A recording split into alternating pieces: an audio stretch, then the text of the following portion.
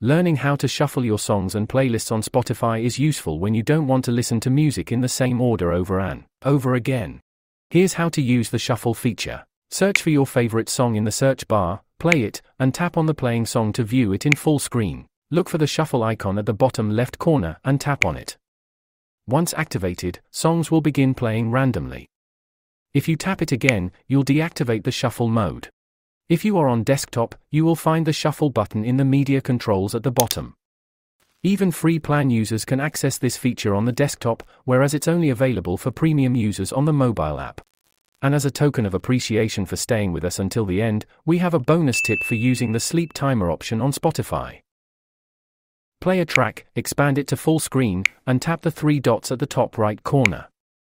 Scroll down until you see the sleep timer and tap on it.